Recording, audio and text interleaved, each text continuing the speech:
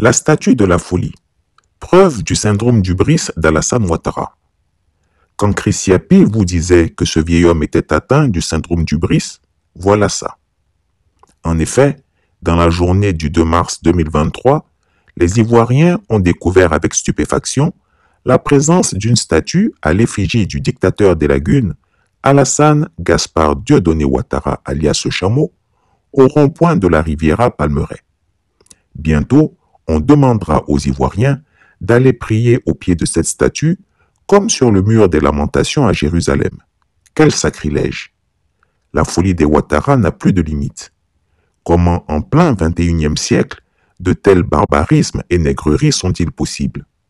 Je vous invite à lire bientôt l'analyse de votre serviteur. Et tous les moyens sont bons, même la destruction d'une pierre qualifiée de magique. Explication avec François Mazur. La scène peut faire sourire. Des combattants pro-Ouattara qui s'acharnent sur un morceau de pierre censé offrir des pouvoirs surnaturels à Laurent Gbagbo. Mais c'est une donnée essentielle dans la compréhension du conflit dans ce coin d'Afrique.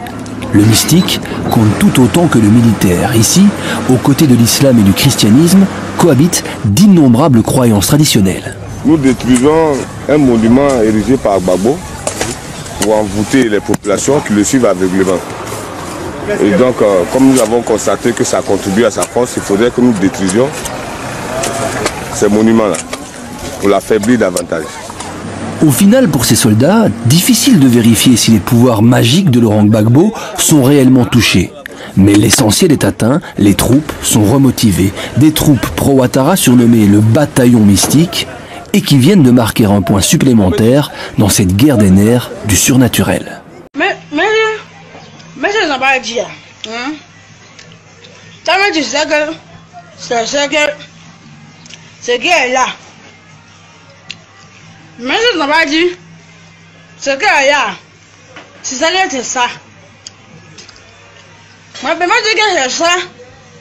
Moi, c'est vrai que c'est ça. Pour éviter ça. Chris Yapi ne ment pas.